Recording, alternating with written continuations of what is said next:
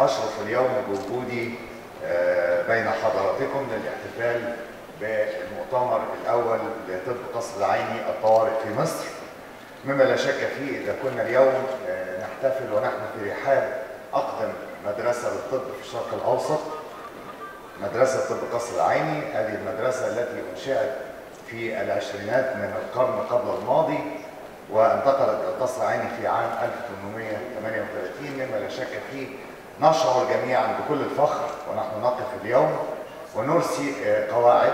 هذه القواعد من أهم الأشياء التي تهم المواطن المصري في الوقت الحالي وهو طب الطوارئ. ومما لا شك فيه أن المستشفيات في الفترة الأخيرة قد آه، يعني ضجت بال- بالكثير من المعاناة من زيادة الأعداد الموجودة آه، وتثقل كاهل هذا المستشفى.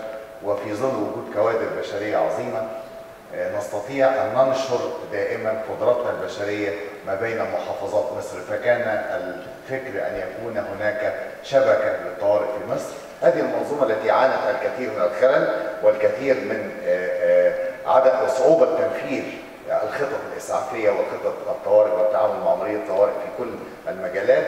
مما لا شك فيه إن إحنا دائما بننتظر من طب قصر العيني ومن اساتذه قصر العيني أن يكونوا دائما خير معين وخير مخطط معنا كمسؤولين في الصحة آه، لخريطة الطوارئ في مصر.